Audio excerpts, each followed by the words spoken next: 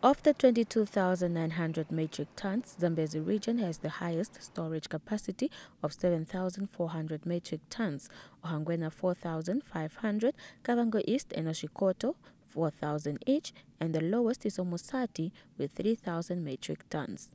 Parsval Elijah says AMTA plans to expand this capacity to at least 99,000 metric tons over a five-year period assume today we find ourselves in drought, that the whole country, there's nothing that we are getting from outside, we will find ourselves in a situation that we are unable to feed ourselves.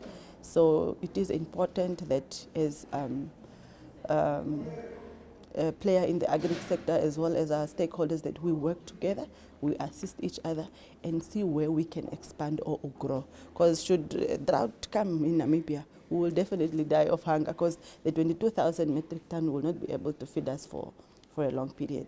While at the same time, it aims to maintain optimal levels of national food reserves to address local food security and to be able to respond to immediate food requirements. AMTA is currently, uh, with this uh, uh, uh, grain products that we got, we are currently busy with uh, milling the pearl millet, the Mahangu uh, grain that we bought through our silo in Tsandi, and then these will be delivered to Erongo region for, for, for, for dry, drought relief programs. So these grain products are actually milled at our own milling um, facility that is in um, Kavango West, Katwitwi.